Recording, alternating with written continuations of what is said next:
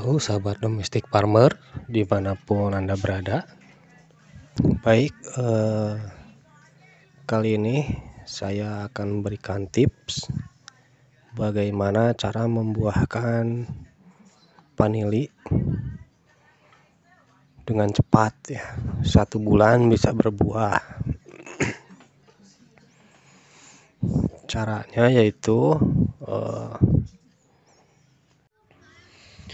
Seluruh yang kita tanam harus memasuki fase generatif atau sudah siap produksi.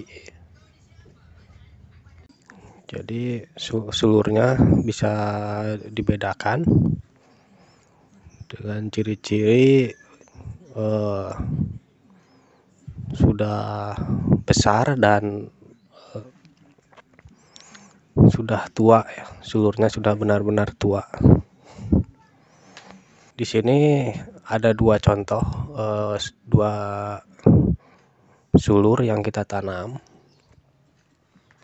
Yang satu uh, sulurnya masih muda dan yang satunya lagi diambil dari dari sulur tua.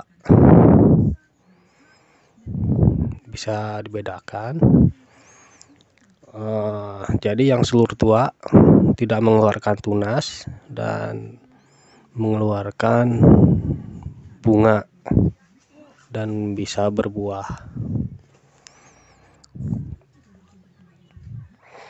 Sedangkan seluruh yang masih muda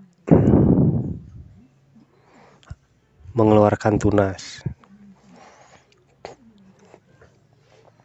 Jadi ketika kita ingin membuahkan vanili dengan metode seperti ini pilihlah seluruh yang sudah tua dan itu bisa berbuah.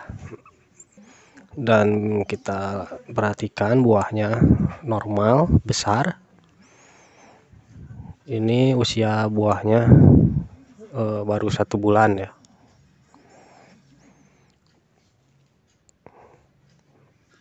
Oke, itu sedikit tips bagaimana cara membuahkan vanili dengan cepat.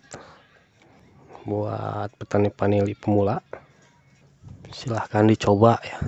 Bisa diaplikasikan ke tanamannya. Ya, terima kasih.